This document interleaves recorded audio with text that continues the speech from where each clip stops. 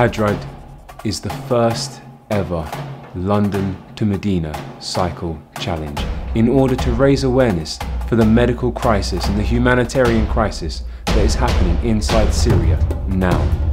Six weeks we will be travelling over eight countries and climbing three different mountain ranges over 3,500 kilometres.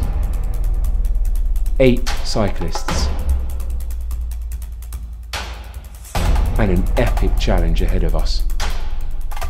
Will you be there to support us in supporting these people? Come to hajjride.com and show your support.